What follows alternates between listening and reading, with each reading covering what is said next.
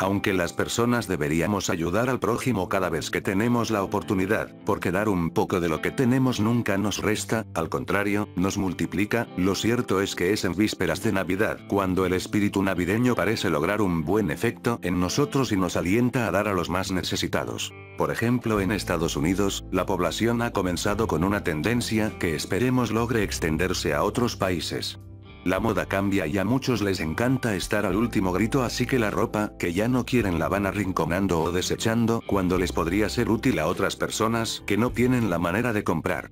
Son miles de personas las que se están uniendo a este gran gesto que consiste en sacar aquellas bufandas que ya no usamos más y que están en los cajones de casa que nadie abre, y las están atando a los árboles de los parques, incluso muchas más se toman el tiempo de hacerlas ellas mismas y no son una la que colocan sino varias. La generosidad es característica principal de los buenos corazones. Estas bufandas están siendo donadas para personas que no tienen hogar y que están constantemente expuestas a las frías temperaturas. No tienen ningún costo, como lo hemos mencionado, son donadas por nobles corazones para personas que realmente las necesiten, así se mantendrán a salvo de las condiciones climáticas, que en algunas ocasiones llegan a ser muy críticas. En algunos árboles de los bosques se puede leer en carteles si me necesitas, llévame contigo para cubrirte del frío y mantenerte a salvo de un resfriado. Elizabeth Sammons, es una mujer noble y generosa que se encarga de hacer ella misma las bufandas que donará, confiesa que ayudar a los demás la hace sentir increíble y satisfecha consigo misma, a diario dedica entre una y dos horas a este gran gesto.